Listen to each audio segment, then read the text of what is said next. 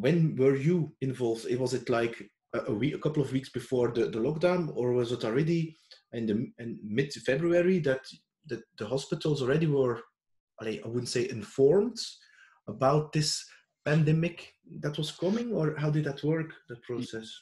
Yeah, I think the timing is more or less correct, but uh, I also uh, I was on holidays just uh, before the lockdown. Okay. Um, I left, I think, uh, yeah, the end of February, end of February, uh, and at that time I was still, like you say, like most of the people thinking, okay, there is some virus there in, in China. Mm-hmm. Uh, okay, it's serious, but we will have it under control.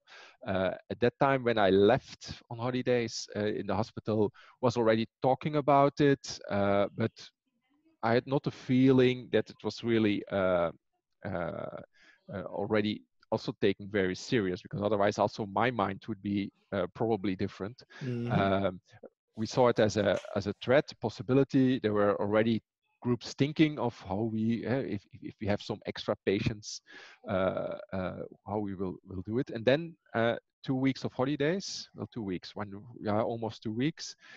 I came back, I think the the, the 9th of March. So mm. I left end of February and then uh, the 9th of March I was back. And uh, the first day on the office, the 10th, yeah, I saw the world is completely changed. Uh, also in the hospital, uh, uh, the, the, the, crisis infrastructure was there, the management that managed the crisis, all the uh, things were already in place. They were talking about it, and yeah, my first reaction, I came from holidays, was ah, yeah, a little bit exaggerating. Uh, but after the second day, yeah, I said, no, no, th- th- those guys mean it very seriously. Uh, and then the third day, yeah, we were already making place uh, in the hospital for the 1st mm-hmm. patients uh, that still were not there at that moment or are coming. So, um, so yeah, because I was two weeks away, I, I, I missed a part. No. Uh, on holidays, I'm really not connected with work. It's holidays, um, and uh, is uh, but I, I, saw a big difference today.